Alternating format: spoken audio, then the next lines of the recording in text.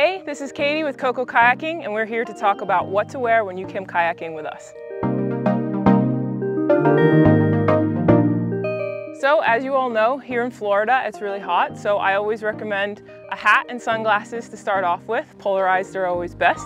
The sun is always beating down on our backs, so if you've got a UVB shirt, like the shirt that I'm wearing, make sure to put it on nice and light. It's breathable and it protects you from the sun as well.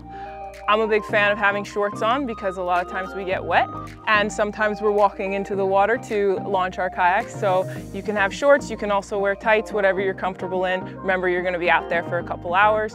And then lastly, but not least, I like to have some water shoes on that are okay to get wet. The last thing I wanna talk about is sunblock. It's important to wear your sunblock every day, no matter if it's cloudy or not. And I like to have a little bit of a higher SPF on my face and then maybe a little bit of a lower SPF on the rest of my body. But make sure you're covering from toe to your head to make sure that you're not getting any sunburns while you're out here with us. Thank you for booking with us and we look forward to seeing you out on the water.